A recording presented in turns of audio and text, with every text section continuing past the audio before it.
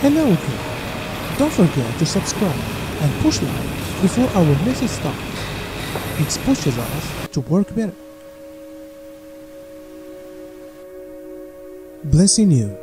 Awakening people message for today is Archangel Mike. Don't repress your godliness. So open your soul, take a deep breath, close your eyes, and believe in yourself. I'm Archangel Michael, and I have a message for all upon planet Earth. You've repressing your godliness. For those who stay on your daily lives, never looking beyond the end of the day, never looking outdoor of your everyday life, what you call regular, your complete demeanor and the flurry of interest is certainly a device to repress. You don't realize this, of root, because that is all you've been taught. However, it's true. You never stop to question if that is what you really want to do, who you really want to be, or if this is truth is what you have determined to be on this incarnation. Thinking lifestyles is greater important than wondering you have all the answers. It's now not your task to offer you answers. This is the project of those ordained as your publications, your healers and your celestial truth bringers. The team of mind who work with you are there to inform you what you need to realize, what it is, in truth, that you've come here to do.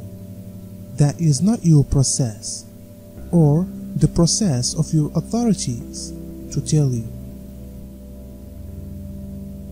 It has, and it stays as a set. Now educate on a set. Now set of tracks, going around in circles.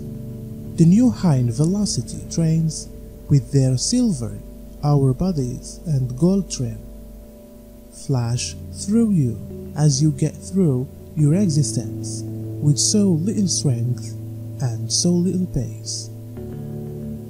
Your global is a holy place. Sure, see it as such, see it as holy. This will be a challenge when you persist in searching at it through the equal glasses you have got used all your life. Shed these glasses and discover new ones that show you the reality of what's occurring inside the lives of all. You are all beings of wholeness, divine beings who come to this planet to boost her up once more to the heavens. However, as a way to do that, you need to see yourself as capable of it, and you are. And this means that you have to end your repression of feelings. Feelings are the the key to the future. When they sing to you, observe their music. When they shriek at you, stop there and do not take some other step. For there are telling you in which to head, what to do, and the way to create. Do you spot the divinity in all of existence around you? Do you notice the happiness of a canine when she greets you the smell of the ocean as its waves break upon the shore? Do you notice the bounty of color in a fair mountain sea?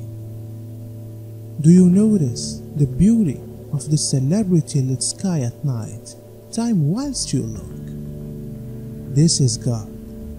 This is creation. And but you persist, is not longer seeing the bounty of creation inside yourselves and in the others around you. You notice them as extraordinary. That humans are specific from introduction. They're not. They are the creators. You create this beautiful fact which you call Mother Earth. She is of you, and you are of her. See yourself as one with the heavens, the earth, and the skies. Allow your heart open to recognize your divineness. Understand that you are in an unnatural system proper now, and this device is remaining because it closes. You may feel liberated, but simplest whilst you release yourself from it. Whilst you repress your emotions, you repress your divinity. You repress your power, your splendor, your bounty. You repress your lives and live small. That smallness need to trade and it need to exchange now. So it miles decreed and it will be completed. Work with the writer to change this world to one worth of his love for you. Open your heart, open your thoughts, be grateful for change. And so it is. Archangel Michael.